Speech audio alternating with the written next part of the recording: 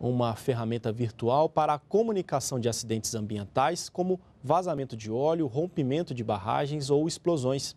É o Sistema Nacional de Emergências Ambientais, o CIEMA, lançado nesta terça-feira pelo IBAMA.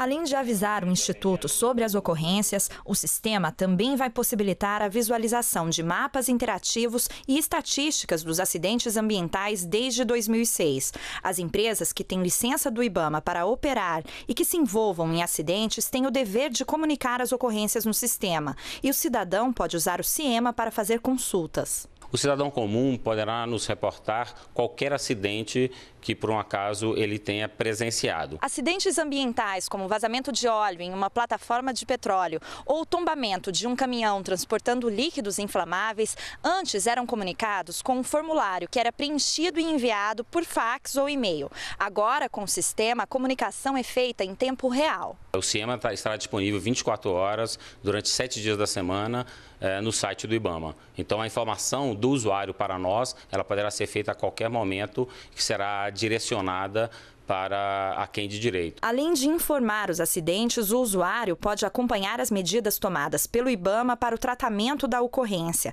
Além disso, relatórios sobre os acidentes ambientais ocorridos desde 2006 também estão disponíveis no sistema e, segundo o IBAMA, vão ajudar na formulação de medidas preventivas.